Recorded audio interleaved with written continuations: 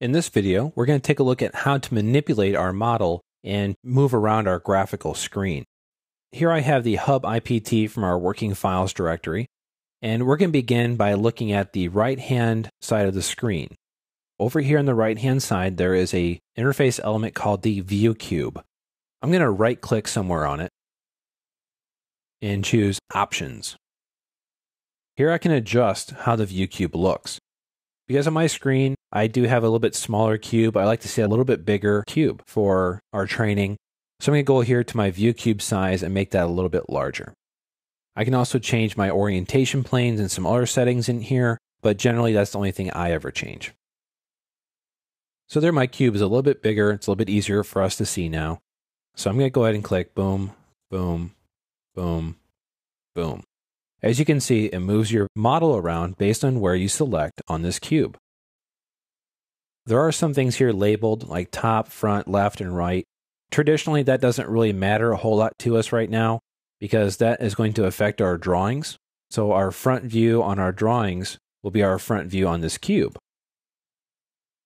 And that looks like a pretty decent front view.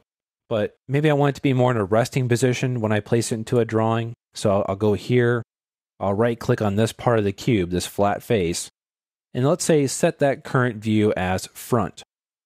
By doing so, when I bring this into a drawing now, that will be my front orientation. Now, if you click on that home button, just like you saw me do there, it will take you back to a nice isometric view. And this can be very handy if you inadvertently get lost or into a bad spot on the view orientation and you just want to go home. You also have the ability to do that if you right click. You have a previous view and a home view by using your function toggles on your keyboard of F5 and F6. Now, what if I want to change my isometric home view? I essentially need to get it into an orientation that I like, like let's say here.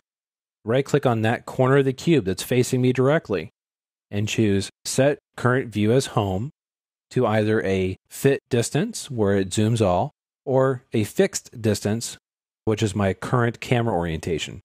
I'm going to do a fit to view. If this gets to be eight times larger, it's going to fill the screen still. So now if I click around on the cube again and then click on home, it takes me back to my new isometric orientation. The next thing to look at is our navigation bar. That's these series of commands here on the right hand side. The first one is called a steering wheel. If we turn this on, it turns into the little lost puppy of Autodesk Inventor.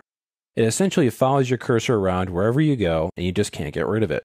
This is designed for users that are using a touchpad on a laptop. If you are using a desktop or you're using a mouse with your laptop, you do not need this tool. If you are in an unfortunate sense where you went traveling with your laptop and then you forgot your mouse, it's nice to have all your viewing tools right here. For now, I'm going to close this off to get rid of my steering wheel. I also have a pan tool and a zooming tool. These I don't use either because I use my mouse for that.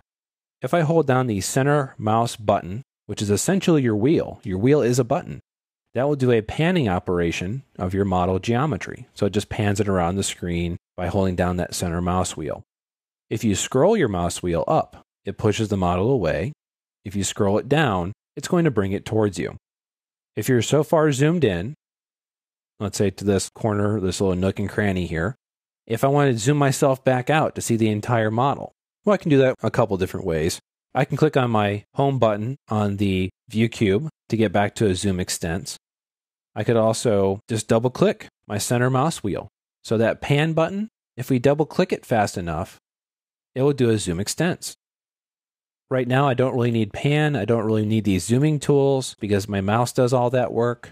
So what else do I have left? Well, I have a orbit tool here this is very similar to the ViewCube interaction, except when I turn this one on, I get the ability to do a constrained orbit left and right, or up and down. Or if I click and hold inside of here, I can just do a nice little spin on this.